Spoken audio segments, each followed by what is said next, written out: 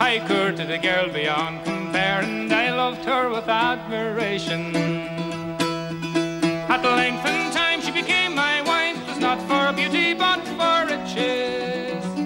And all the time it causes strife to see which of us will wear the riches. Oh, Paddy Kane, it is me name, me height it is five foot eleven. And my wife is nearly not so big, she only measures four foot seven. The hedges I have oft times stripped, I've left them bare of rods and switches. And her skin that's fair, sure I've turned black, but still she swears she'll wear me breeches. Well, I am a tailor to me trade at cutting out, I am quite handy. But you're all the money that I make, she lays it out in tea and brandy.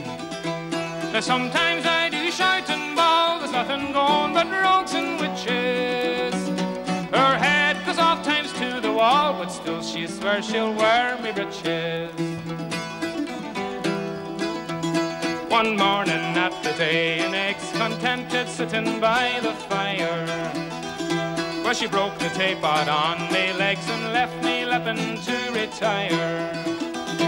Tis now that I do shout and moan as I go hopping on me crutches. Well, I wished I'd broke her collarbone the day I let her wear me breeches. So come all young men, where'er you be, don't marry a wife if she's enchanting. For if you do, you'll be like me with other men, she'll go gallanting. Now my advice it is to you to marry for love and work for riches. And be sure of a wife with a civil tongue that'll give you a leave to wear your breeches.